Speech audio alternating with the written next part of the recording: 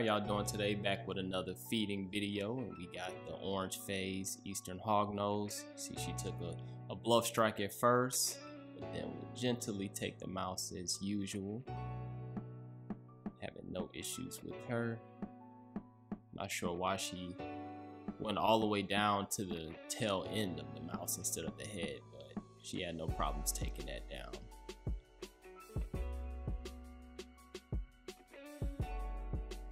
Right now we got her mate, Onyx, Melanistic Eastern Hognose.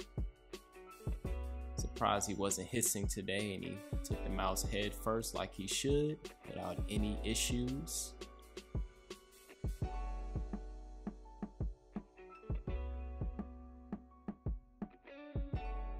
Like how he just stares at me.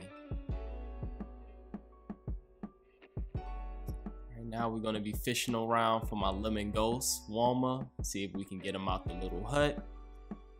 I didn't get it on camera but he did grab the mouse. Gotta watch your fingers with him. Looks like he's eating it upside down. Pretty big meal for him. But he has a really good appetite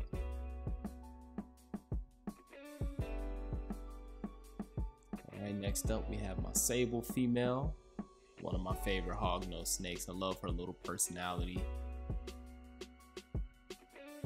Always is willing for food. It's like she's hitting her growth spurt now. She's getting really long, so now I just have to put some weight on her.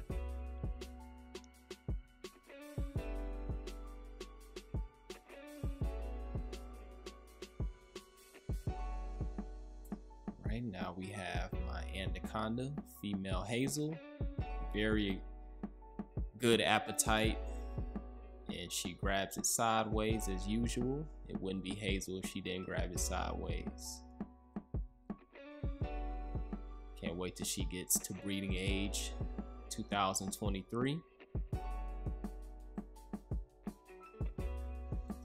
Right, we're gonna go fishing for another hog nose and we got one that popped out. This is the Arctic Anaconda het Mai Tai female. Very, very good appetite, very aggressive eater.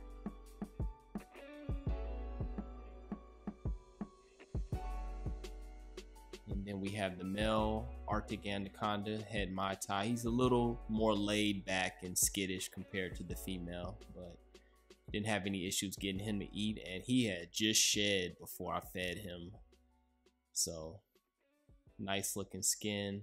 Definitely like the color of him. He has like a nice greenish tint to his background.